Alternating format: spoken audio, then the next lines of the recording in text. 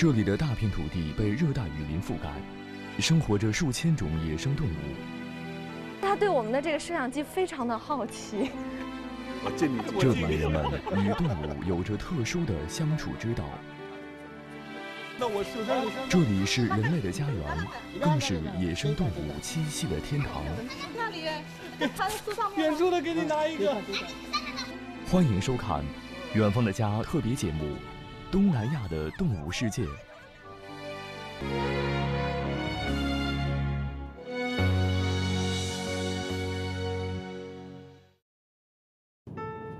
东南亚分布着世界最古老的热带雨林。生物多样性也位居世界前列，数千种野生动物在这里繁衍生息。在新加坡、马来西亚、印度尼西亚，我们曾拍摄过许多动物。在世界十大动物园之一的新加坡动物园中，我们就拍摄到不少难得一见的神奇动物。一进动物园，可爱的绒顶撑柳猴就在和我们打招呼了。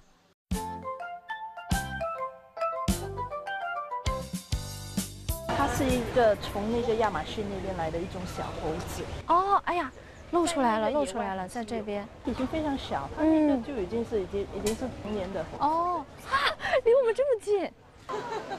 所有来这儿参观的人从来没有伤害过它，所以它很适应这个这个这个环境。而且大家刚才看到它一直是在这一块区域活动，因为它对我们的这个摄像机非常的好奇。果真是开放式的概念。动物就在行人的身边穿梭。绒顶撑柳猴分布于亚马孙河一带，绒顶撑柳猴的头顶绒毛较多，故而得名。这些绒毛在它们遇到危险时会竖起，以使它们显得更加强大，从而吓退对手。现在绒顶撑柳猴数量很少，濒临灭绝。整个动物园当中是有多少种动物？我们新加坡动物园有大概两千八百只不同的动物，大概三百种品种。我们跟随慧敏走在动物园中，各种动物就在我们身边。三百多个品种，约三千只动物，在没有人为屏障的舒适环境下，过着自由自在的生活，与游客和平共处。我们身后上面的这些网啊。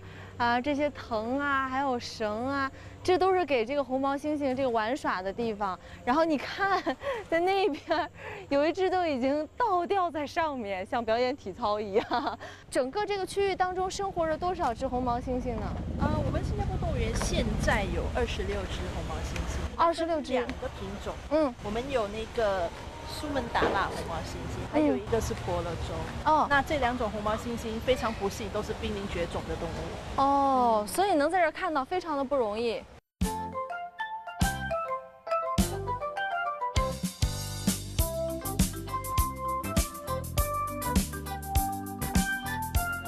慧敏说：“新加坡动物园的亮点莫过于世界首个红毛猩猩自由栖息区，在绿意盎然的园内。”红毛猩猩就好像在自然栖息地的环境中自由活动，走在这些专门设计的高架木板路上，游客可以在树顶近距离观察红毛猩猩自由活动。在这个开放式的动物园中，游客、动物、大自然融为一体。像给他们营造这样的环境容易吗？嗯。要经过一些思考啦，因为你需要了解那个红毛猩猩它们的自然习性，嗯，也要想一些有趣的问题，比如说它活在它在上面嘛，如果它它在那个排排泄的时候，有时候会弄到下面的，是，所以我们必须要注意这些，把它们的那个会逗留的那个位置，尽量尽尽量不要让人在下面走。在园区里，既可以悠闲的散步，也可以搭乘导览车。各种动物就在你的身边，犀牛、斑马、长颈鹿、凶猛的狮子、白老虎，我们仿佛置身于来自世界各地最独特的野生生态环境中。动物看起来离我们很近，但是其实有河谷相隔。尤其对于狮子、老虎这样的凶猛动物，保证了游客的安全。这样的精妙设计是他们工作人员最为骄傲的。这边能看到阿拉伯狒狒。当我站在这个前面的时候，你看，整个这个猴群的反应都不一样。你瞧，有人朝我扔东西，有猴朝我扔东西，然后有的呢就是在跳起来示意他们要吃，我丢给他们就可以吗？哇，它是可以接到的。水里了。这样的互动体验也是一种人与动物的交流。慧敏说，阿拉伯狒狒区域旁边有一种东南亚独有的动物，叫做马来貘。哇，它的形象是这样的，是吗？对啊，它又又一点像猪，又有一点像，嗯，跟马比较比较相似。你可以看它的耳朵，它耳朵这个边缘的地方是白色的。然后下面的地方都是黑色的，而且它们那个鼻子也挺特别的，有一点像大象哎。它平均一只寿命大概有三十年吧。马来貘是貘类中最大的一种，又叫五不象。它的鼻似象，耳似犀，尾似牛，足似虎，躯似熊，全身毛色黑白相间，主要以竹子为食。它被国际自然保护联盟列为濒危物种。在新加坡动物园中，还有一个飞禽公园——脆弱森林。对，嗯，这个脆弱森林其实是一个热带雨林般的体验。里面呢，它我们把那个热带雨林里面的那个呃生活环境营造出来了。脆弱森林区域中，两万立方米的飞翔区不仅是世界上最大的飞翔区之一，它还将丰富多元化的雨林生物呈现在游客眼前。当我们步入脆弱森林。犹如步入了热带雨林中，非常像鹿，但是它的那个体型大概跟竹鼠的大小差不多，而且它的那个头部啊，尤其是眼睛，跟鹿非常的像，炯炯有神。它叫小溪鹿，其实也就是第一是它比鹿的体型要小很多，另外它确实很像鹿。那个英语我们叫 mouse deer，嗯，它长得其实有一点像鼠鹿老鼠，对，啊。除了小溪鹿，在这里我们能看见各种各样漂亮的鹦鹉。翩翩起舞的蝴蝶，我们仿佛闯入了他们的世界。在观景台，游客能和生活于树冠层的动物们做近距离的接触。树懒、狐猴以及大胡蝠就在你身边。我非常喜欢的动物之一啊，我们可以转过来看一下。哇，它们真的一点都不怕我哎！大家可以看到它长长的尾巴很漂亮。之所以叫环尾狐猴，就是因为它的尾巴上是有这样黑白圆环。环绕起来的，而且它最大的特点其实是它的这个小爪子，它不像好多猴子，它是有很长的指甲的，嗯，会会抓伤别人，但它的那个小手都是很温柔的，因为我以前是跟它握过手的。走了，你看它走路的时候特别可爱，就那个尾巴跳上来。这个是世界上最大的那个蝙蝠，最大的蝙蝠，你们看到吗？上面挂着，倒挂在那里，这个没有人提醒，可能很难去发现的。对呀。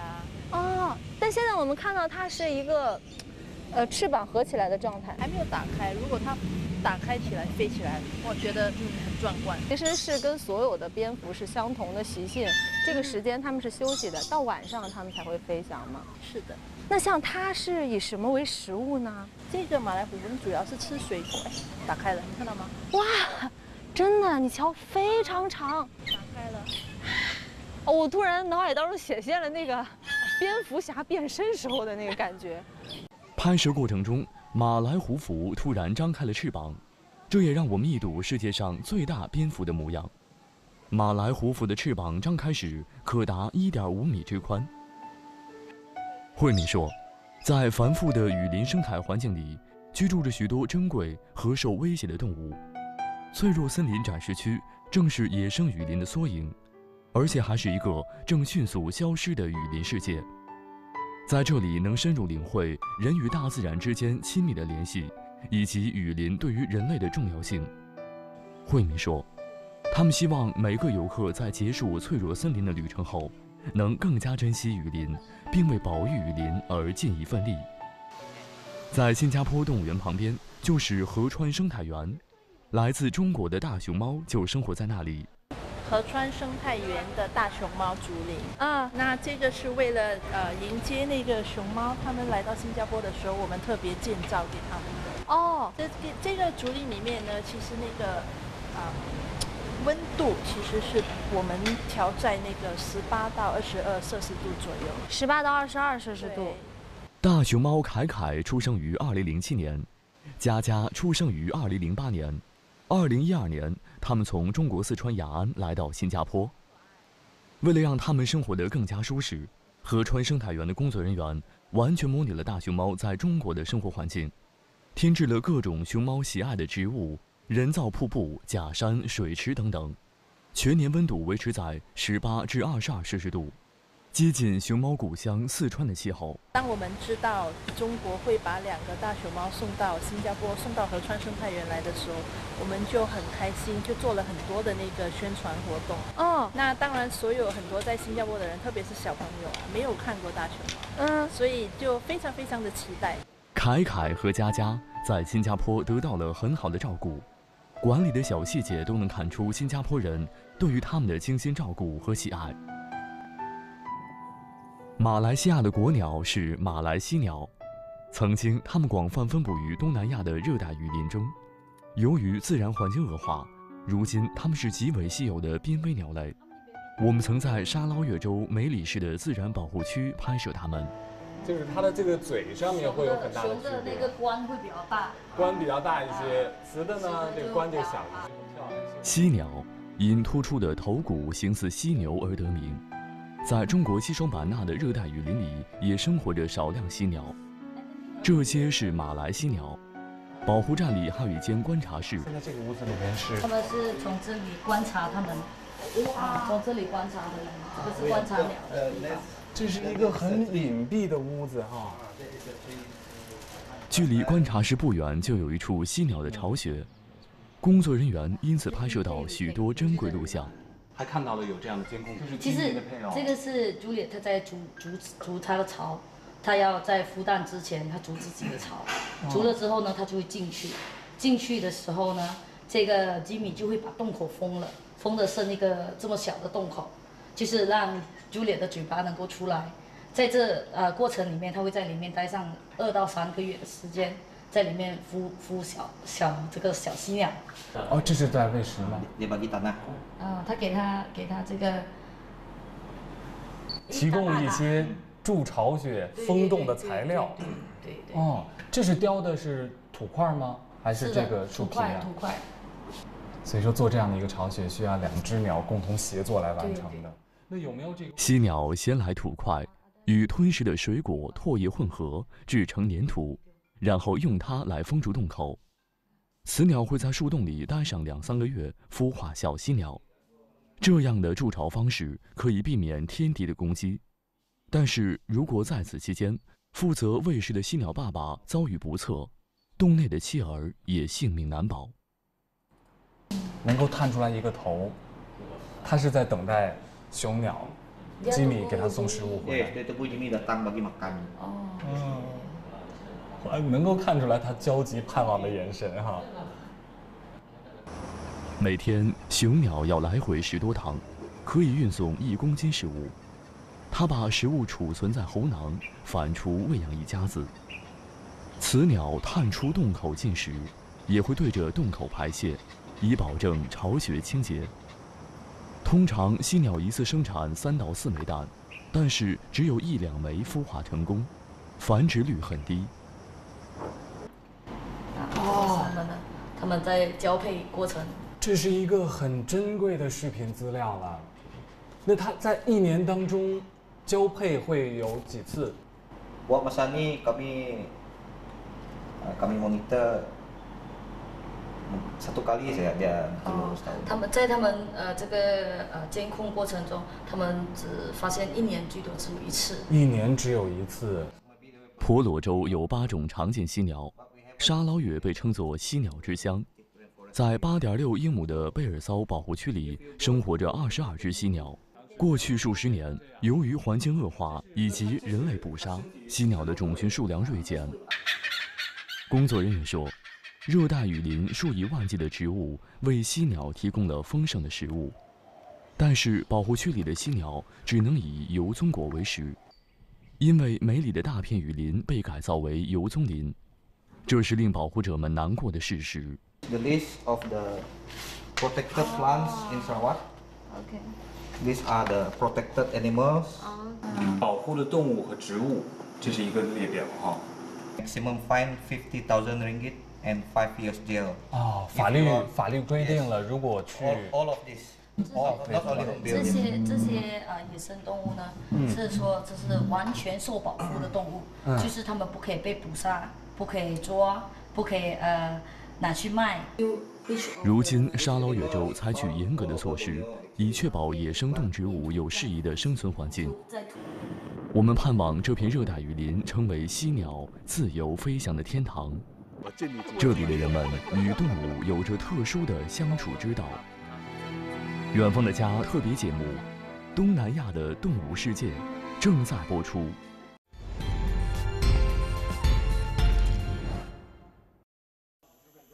在热带雨林中拍摄，特别需要注意的是，不能轻易下水，甚至远离河岸，因为许多猛兽就潜伏在河流中。在美丽的鳄鱼农场，我们就见识了河流之王鳄鱼的威力。哦，这么大，这么大一只，这有哦啊！我刚才看到的是远处的那那很大的一条鳄鱼，没想到靠近，靠近我的这边还有一条。它刚才是要攻击我吗？没有，那是惊吓，把你你的声音吓到它了。我是我吓到它，还是它吓到我了？对，看到看到鳄鱼那么害怕吧？关键刚才第一看到鳄鱼的时候，就给我给了一个下马威。那一条吓到你了吧？你看它的嘴。就在这个护栏边上，都是本地的品种，它不会跳上来吧？不会，不会跳起来哈。我可以伸出去看看啊。现在我们喂食给你们看看一下啊。哦。为什么就像假的一样都不动弹呢？其实是蛮懒惰的一种动物。懒惰吗？懒惰，它吃饱了，它就可以睡在那边整天都不动的。哦，那这是他们在晒太阳啊？对，因为悠闲是冷些动物，嗯，它们不会出汗。说它们就是所谓它们要排它们体内的热气的话，就是把嘴巴张开来的。他们现在是吃饱了吗？吃饱了，有些还是蛮饱的。这些是马来鳄，体长大约三米。它们曾经广泛分布于马来半岛及婆罗洲等地。目前野外种群数量只有三千只。人们推测，鳄鱼在地球上已存活了八千万年。除了偶尔在沼泽里巡游一番。这些水中巨兽几乎一动不动，想要看它们活动，得用食物引诱。每天，养殖员安排了四次喂食表演。工作人员向鳄鱼池里投入一只鸡。你看这些鳄鱼的肚子上面都鼓鼓的。没没没，看在那边那边来来了，师傅来了，师傅来了。哇！师傅来了，师傅来了啊！哇！一口，一口一口。你看，只有在捕食猎物的时候，他们是瞬间爆发了他们的这个野性。对对。平常的时候看上去，跟他对视的时候呢，他会有一种让人很怜悯的表情出现，也是让猎物放松警惕啊。又来了，一整只鸡。哇！一口就吃掉了。你刚才不是说已经吃饱了吗？吃饱了怎么还能吃得下？我们这边有三百只鳄鱼啊，啊，所以不见得每一只会很饱。所以说有漏网之鱼。这边的饲养员在喂养鳄鱼的时候，只能通过这样的挂线。对，不嘛，这个能示范给你们看。人能走下去吗？啊，我们可以，你不能。你们是可以，我们可以啊。对。那鳄鱼跟你们是有感情吗？它没有感情，不，我们知道它的性格，我摸的。摸透了它的习性了。作为河流中巨型的猎食者，鳄鱼的食量却小得惊人。由于消化速度很慢，它们饱餐一顿可以几个月不再进食。当这只鸡出现，水中的潜伏者们甚至没有争抢的欲望。它喜欢近的，它不喜欢藏到。哇！你看它咬到猎物之后，两个头还会不停的摆动。这是它护食吗？跑到这边来。那为什么没有别的鳄鱼跟它一起争抢呢？其他的，我看应该也是吃饱了吧。啊。它的食量，一天普通这样的一只哈，它能够吃三只鸡，一天到四，一天是三只鸡，一次一一个星期啊，一个星期啊。对对，一个星期。哦，哦，这好像和我想象的这个食量还是。有一些差距，差距，对。相比于食物，鳄鱼更需要的是水。天气炎热的时候，它们浸泡在水中解暑；夜间气温过低时，它们会潜入水下保温。鳄鱼一次能生产二十到八十枚蛋。新生的小鳄鱼不过二十厘米长，在野外，到处是虎视眈眈的猎食者，因此它们的存活率很低，只有百分之二十的鳄鱼宝宝能活过第一个月。鳄鱼园还有不少野生动物，人们可以与黄金蟒亲密接触。这是要给钱啊，你不必。嗯，你今天特别有待遇。其实之前啊，我在这在这边已经和这个蟒蛇亲密接触过了，但是心里还是有一点害怕。不用抓住它的头吗？它不会，它不会咬我吗？你试试看。它看到你的脸就不想咬。哎，你，哇！笑一个，笑一个。我我我，你别别，它它是不是有点不舒服啊？你不给太大，你不要太大力，它会痛啊。哦，哇，这只蟒蛇很干净呀。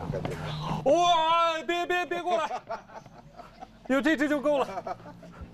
我 OK，这些啊，这个是我们的本地的蟒蛇哈。本地的蟒蛇怎么这么小？没有，这个才两两两岁。啊，两岁哈，那要长得像这么大得几岁啊？长得这么大了，嗯，至少我看要整呃七岁左右。七岁左右哈，哇，其实这样扛着还挺累的呢。来，我敬你哈，我敬你几条蟒蛇。我们的大惊失色与当地人的淡定从容形成反差。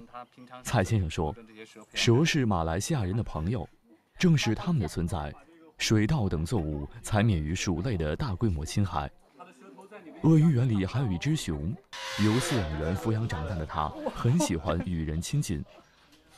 叫什么名字？这个，嗯，贝贝，贝贝，贝贝，Hello，贝贝，哇，还在那喝奶呢，这是喝的什么？是牛奶吗？哇，很可爱啊。坐下去，坐下去，他跟你撒娇一下。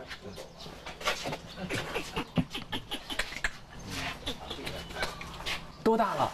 六岁，六岁，哇，靠在饲养员的怀里。这样你坐下去，他就让你靠，他就会靠着你了。嗯，好，还是有点，嗯。虽然虽然是一只小熊，但是我从这个侧面还是看到它。哦，你好，你好，哎，哇，真的像是一个洋娃娃一样的，不像是真熊。啊，我觉得它现在注意力完全没在我这儿，特别专注的在喝它的牛奶。嗯，但是从这个侧面看呢，它的这个牙齿还是很锋利的。他这个爪有多锋利，特别的长，还挺舒服的感觉。我这这是狗熊在六岁了，嗯，每天要洗澡，然后要半个小时的晨运。嗯，哇，像是个小宝宝一样，可以这样摸摸它哈。马来熊是世界上体型最小的熊科动物，栖息在热带雨林中的它们也是唯一不冬眠的熊。这个房间里面，这只小熊的房间里面全是椰子壳，它很爱吃椰子的。这个椰子汁在地上，它都会把它舔干净，吃完吃干净了之后再吃下一个椰子，一点都不浪费。吃椰子的时候和喝牛奶的时候完全不一样，吃椰子的时候才暴露出来他自己的野性，这才是他的本性哈。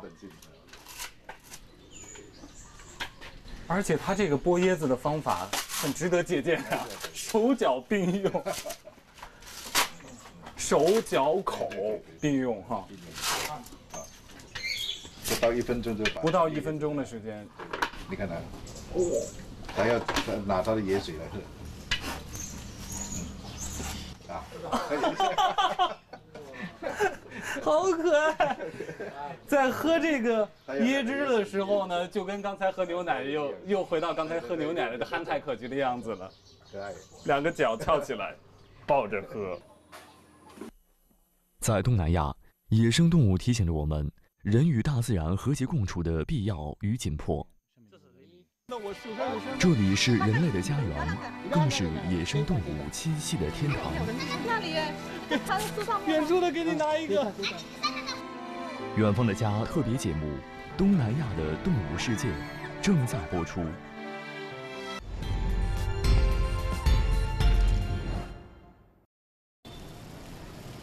东南亚的国家大多拥有辽阔的海域，在热带雨林和大海相交的地方，生活着许多特有动物。我们在印度尼西亚的巴占岛曾经拍摄过世界最大的陆生蟹类椰子蟹。在去寻找椰子蟹的路上，我们却首先遇到了另一种奇特的动物。这是这是猴子吗？你看，这就是在马路边上。拿着香蕉就可以把它们引过来。这个是什么猴子？啊，macaca negra. What kind of monkey? Macaca negra, local monkey here, kind of king kong. 黑冠猕猴是印尼独有的一种猕猴，主要生活在苏拉威西岛东北部，后由当地人带到巴占岛繁衍。这附近的橡胶鼠是它们的主要栖息地之一。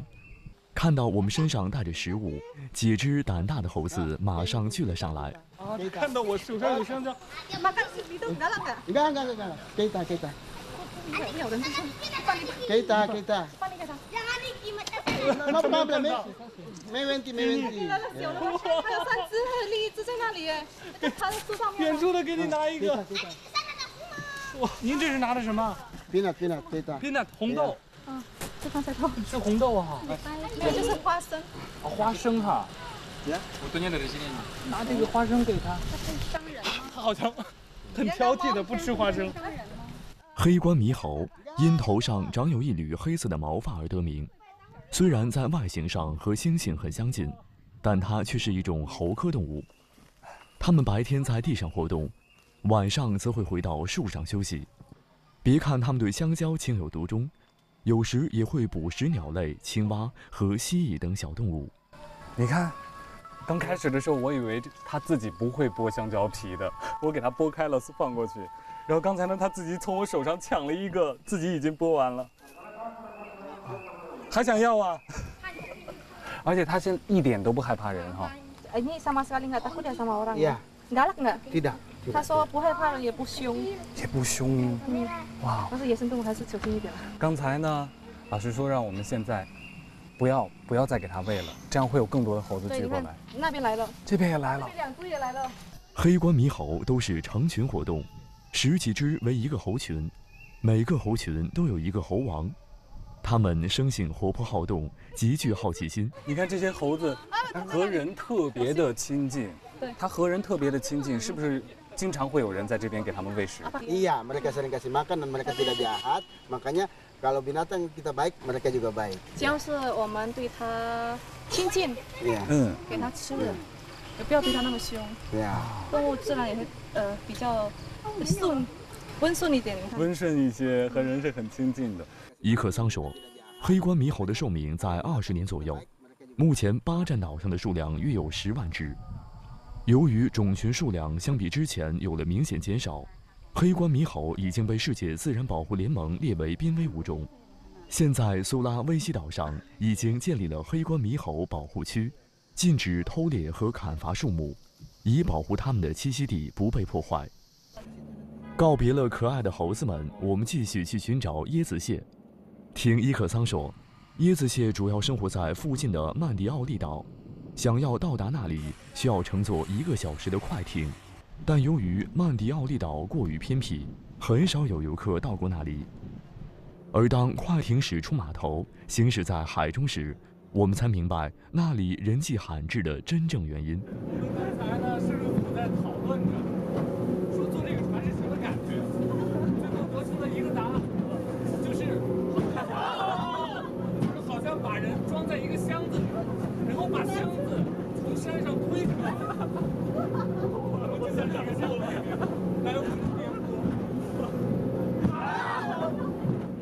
听船长说，快艇在海中必须迎着海浪行驶，否则就会有翻船的危险。尽管我们的时速只有三十多公里，但船身在上下颠簸的同时，还会左右不停地摇晃。就连见多识广的摄像师也变得面色铁青，紧张得说不出话来。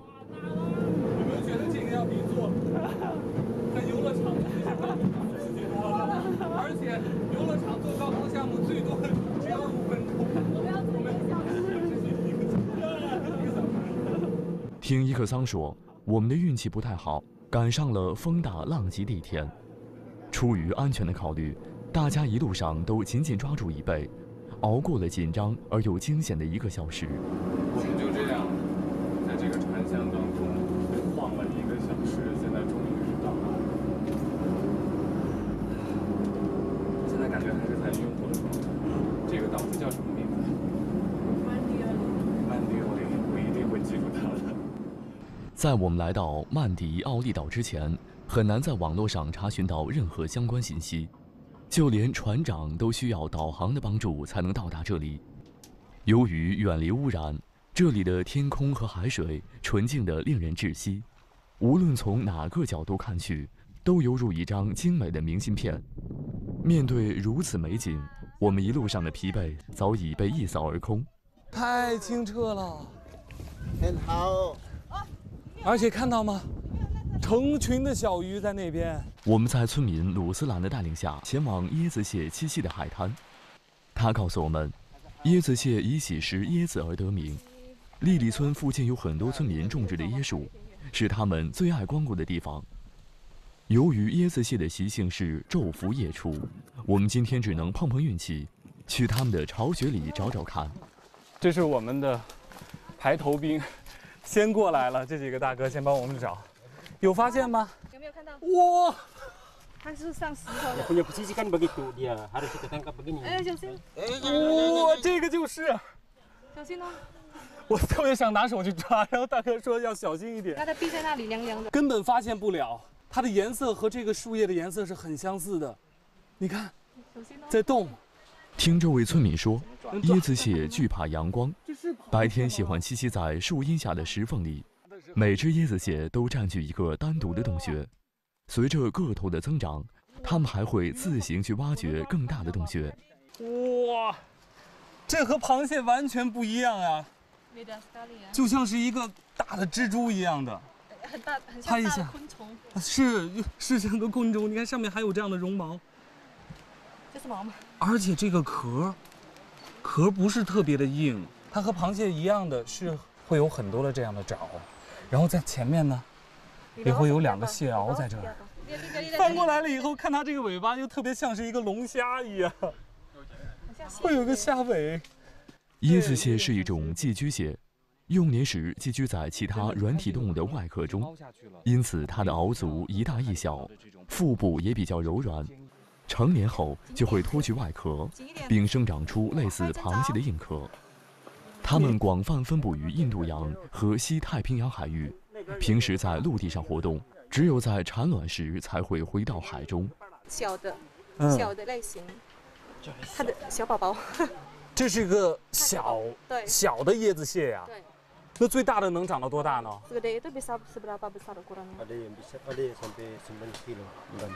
九公斤。九公斤，这么大。鲁斯兰说。椰子蟹是世界上最大的陆生蟹，成年蟹可以轻松地爬到椰子树的顶端，与地面的距离能超过十八米。找到椰子后，他们会用蟹足将椰果的枝条剪断，再爬到树下享用。像它吃椰子呀，这个椰子不是长在树上吗？这一整个它怎么能吃到？它先把这这一部分局部的，它把它先呃拍出来。它会在这个椰子上面凿一个洞。凿完洞之后呢，会爬到这个椰子里去吗？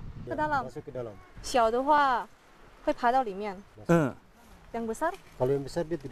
大的话就没办法，这样从外面就这样夹那个肉出来吃。拿钳子进去夹这个椰肉。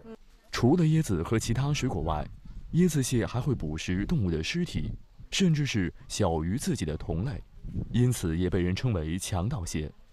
而这一切都离不开它那对强壮有力的螯足。它抓的还是蛮紧的，你看，他抓的就是抓起来，抓的特别紧，而且越动，你看这边的这个钳子也上来帮忙了。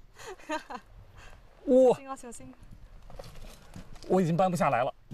你看张开了以后，真的特别像是一个大的蜘蛛。它走的时候，这是走直线的呀。一般的螃蟹不都是这样横着走的吗？对对对，它可以往前走。你看离远一点，在一米以外的位置，根本就几乎几乎是看不出来了。它的这个，对，它已经完全。它会自己再找到自己的窝的，是吧？找到自己洞穴再进去的。看它随便找一个石头。嗯。我觉得我们还是比较幸运的，虽然经历颠簸暴晒，最后还是在这边能够发现这样一个奇特的物种。在东南亚的海域中还生活着许多动物，它们远离人类，出没不定。要想看到它们，得靠好运气。在印度尼西亚的巴厘岛，我们就有机会拍摄海中精灵——海豚。而且看海豚的时间非常的讲究，你必须在太阳还没有升起之前就赶到海滩，到海的中央去看海豚。听说呢，这海豚啊，只有一到两个小时可以有幸被看到。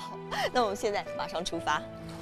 对于所有摄制组成员来说，这都是第一次在海上观看海豚，有机会近距离接触这些可爱的动物，大家心中都充满了期待。华电集团的何庸在这里工作生活多年，曾多次来罗威纳观看过海豚。今天的云稍微有一点点的厚，啊所以它有点遮住太阳了。害羞。我们只能若隐若现的看到阳光，现在是有点洒到海面上的感觉了。听何庸说，罗威纳常年都有海豚出没，除了雨天，几乎都能看到。海豚一般在清晨六点左右出来觅食。运气足够好的话，它们可能就会出现在船边。根据您的经验，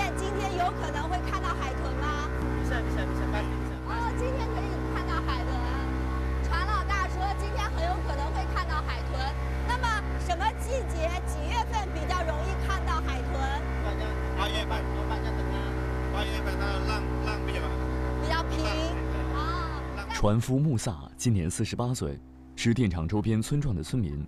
开船带游客来看海豚已经十几年了。据他介绍，这里的近海生活着几百头海豚，是世界上为数不多能看到野生海豚的地方。大概行驶了十五分钟，我们来到了海豚经常出没的一片海域。我们现在啊，慢慢的接近观看海豚的最佳地点了。你可以看到，在我的左手边，海上停满了各种各样的船。那你看，还有一个像什么？很像蜘蛛一样的船啊！对，对对，它这个船型就叫蜘蛛船。啊，就叫蜘蛛船，是当地的一种船型吗？对，当地的一种船型。嗯，那这种船有什么特点呀？啊，一是它的形状很有特色。嗯。二个就是它的那个造型比较窄，它像蜘蛛这样伸展的两侧，能保持船身的平稳性。尽管蜘蛛船的船身非常狭窄，但视野却很开阔。由于船体较轻。它的速度很快，转向灵活，非常适合在海面上追逐海豚。就在我们来到蜘蛛船最集中的水域时，不远处突然出现了海豚的踪影。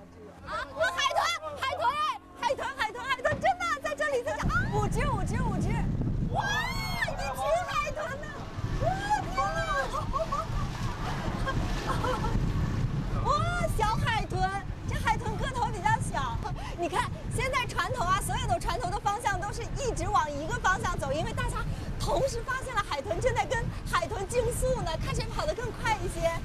与海豚的初次邂逅让我们非常兴奋。听何庸说，我们的运气非常好，有时一个早上也未必能看到几次。现在我们还只是在海豚活动的外围区域，继续行驶，应该会看到更多的海豚。那像刚刚我们看到的这几头海豚的话，是属于大海豚还是小海豚？属于类型小的。小的。哦，那还有很多种类型吗？还有很多。那您见过有几种啊？什么边斑点吗？斑点。哦，是一种身上有斑点的海豚吗？那当地人管那种海豚叫什么名字？我们说牛海豚。牛海豚。海洋馆里的海豚通常是嘴巴较短的宽吻海豚，而这里的则是嘴巴细长的长吻海豚，有时还会出现几只斑点海豚。这些海豚的体长大约在两米左右。以海中的鱼类和软体动物为食，野生海豚都是成群活动，捕食时的速度能达到每小时三四十公里，因此想要追上它们并不容易。别动，别动，嘘，快看，哇，好近呐！那边又有了，哇，一群一群。哇，好美啊，好美啊！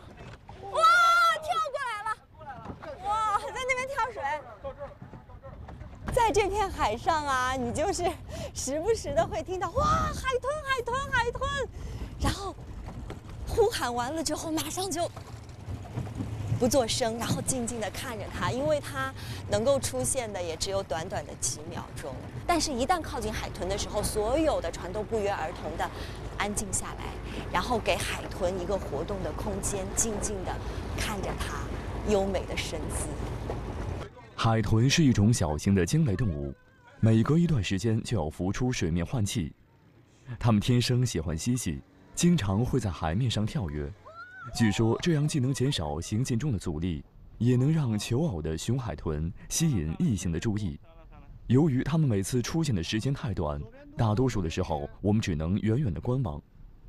但就在我们打算返航的时候，海豚们却像要与我们捉迷藏一样。突然出现在了船边。哇，跳得好高啊！哇，好多呀！海豚就在我们眼前。哦，这边这边。哇！哇，快看，快看！哇！这些海豚就像在跟我们引航一样，在为我们带路。啊，现在又平静下来了。